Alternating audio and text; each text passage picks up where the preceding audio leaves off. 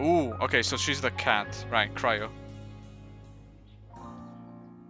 Diona, bartender of the Cat's Tail. I Aw. charge a hefty fee for private events. My ears and tail are no prop, they're real. Proof of my Kätzlein bloodline.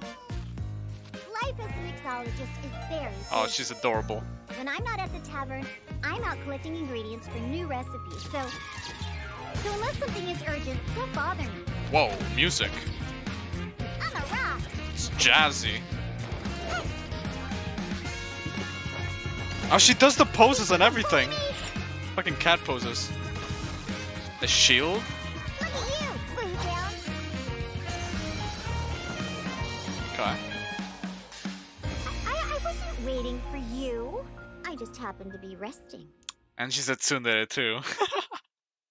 cat tsundere, best combo. Aye aye.